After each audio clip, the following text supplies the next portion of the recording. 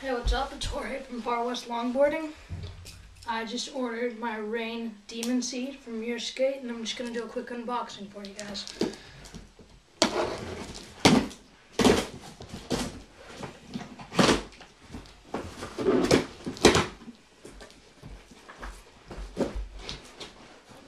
Wow. Packaging. Some more packaging.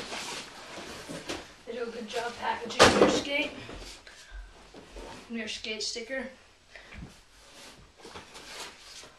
Orangatang sticker. Some more packaging. Ordering information. And finally,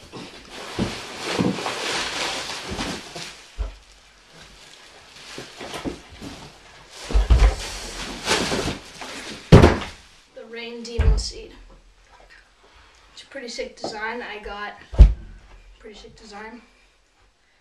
I got purple durians 83A, Bear Grizzly 852s, and Bones Reds. That's pretty much it. Thanks for watching.